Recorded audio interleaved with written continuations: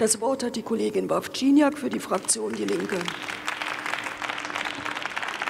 Frau Präsidentin, meine sehr geehrten Damen und Herren! Wir haben dieses Thema am 8. April bereits einmal diskutiert, und die Debatte hier zeigt, seitdem hat keiner von uns neue Erkenntnisse gesammelt oder seine Position grundlegend geändert.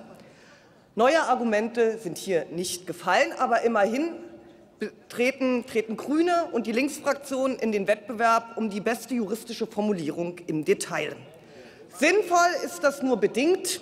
Sinnvoll wäre es, gemeinsam an einer Vorlage zu arbeiten.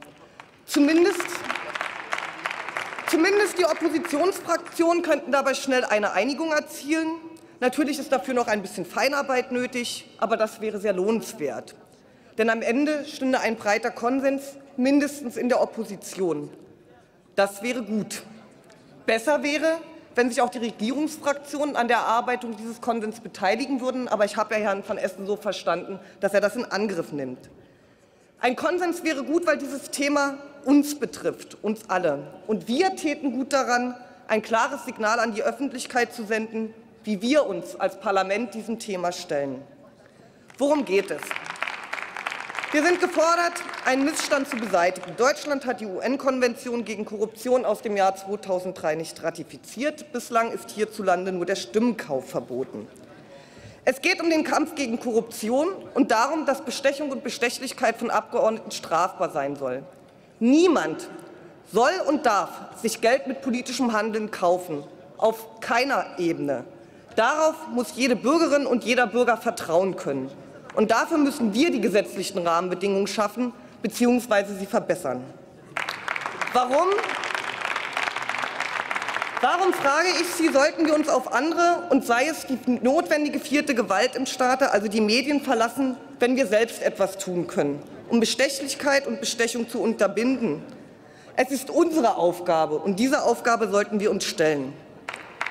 Im Gegensatz zu den Regierungsfraktionen sind Linke und Grüne der Meinung, dass es Not und der Demokratie gut tut, Regelungslücken zu schließen und dass es nicht ausreicht, die Aufdeckung von Korruption den Medien zu überlassen. Und deshalb haben sowohl Grüne als auch wir einen Gesetzentwurf vorgelegt. Nein, leider keinen gemeinsamen, sondern jeweils einen. Ich habe mir die Mühe gemacht, beide Gesetzentwürfe zu vergleichen und zu sehen, wo die Unterschiede sind. Sie sind marginal. In den meisten und wichtigsten Punkten stimmen die beiden Gesetzentwürfe überein. Es gibt einen wirklichen essentiellen Unterschied zwischen den Anträgen in zwei Punkten. Das eine ist die Versuchsstrafbarkeit. Die wollen wir, die wollen Sie nicht.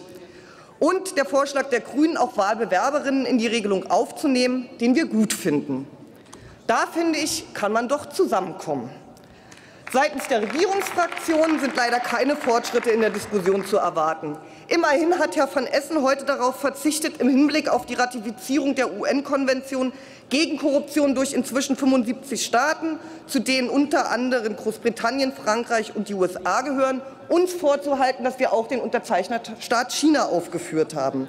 Ansonsten war wenig Neues zu hören. Bedauer, ähm, nicht bedauerlicherweise. Ähm, die Koalitionsfraktion hat auch heute darauf verzichtet, allerdings im Nachgang zur letzten Debatte muss man das noch mal sagen, ähm, darauf hinzuweisen, dass sie findet, dass die Einbeziehung auch von äh, Mitgliedern von Gemeindevertretungen nicht gehen soll.